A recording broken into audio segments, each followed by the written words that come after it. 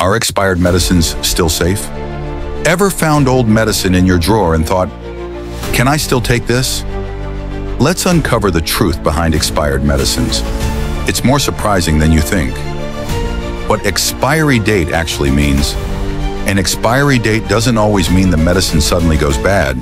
It's the date till which the manufacturer guarantees 100% effectiveness. After that, most medicines just lose their potency.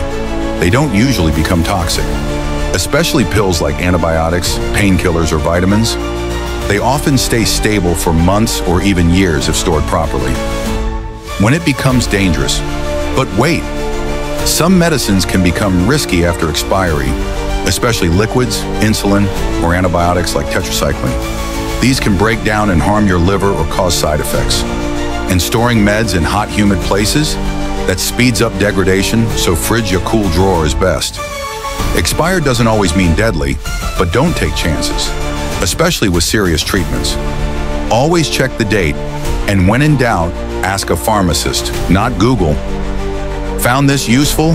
Hit like and follow for more truths you were never told.